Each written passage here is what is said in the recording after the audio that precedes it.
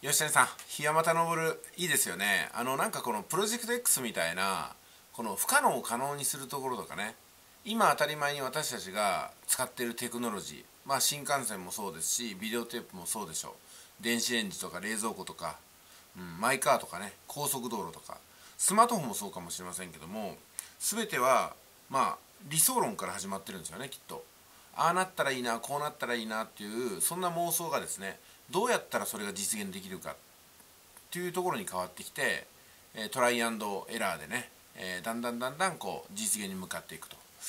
私もねいろんな理想論を持ってるんですけども理想論を持つために現実を見ろというふうなあ言われ方をすることもあるしそれはね理想論に過ぎないよって言われることもあります。でも私はねたくさんの理想論の中の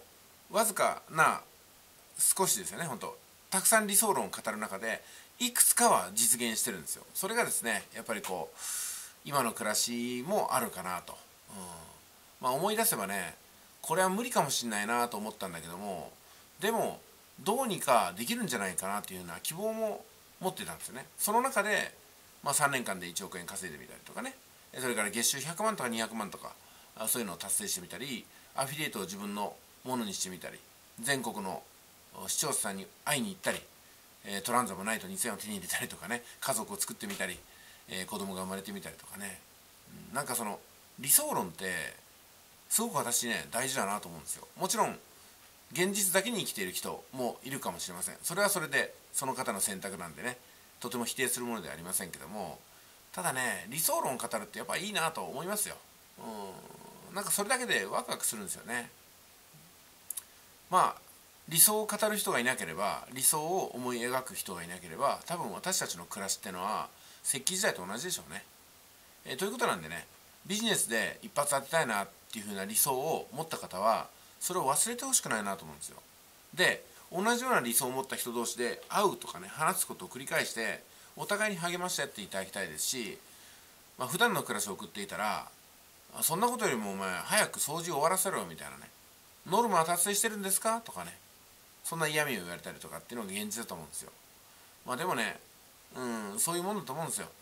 日々の現実っていうのは無視できないもんです。そして理想論っていうのはあくまでも理想論を語る人が好きな空間に行かなければならないのかなと、まあ、それが一つ YouTube だと思うんですよ、まあ、ですんでねあの YouTube の中だけでも自分の理想な人生を語って、えー、思い描いてほしいなと思います。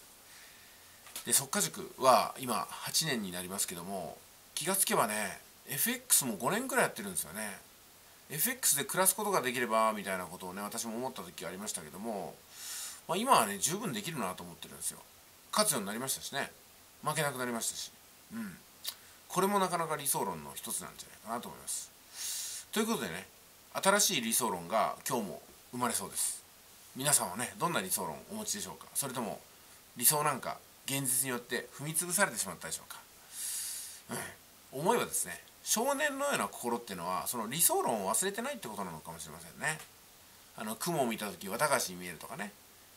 虹の麓を見てみたいとかね。な何なんですかねあれはね。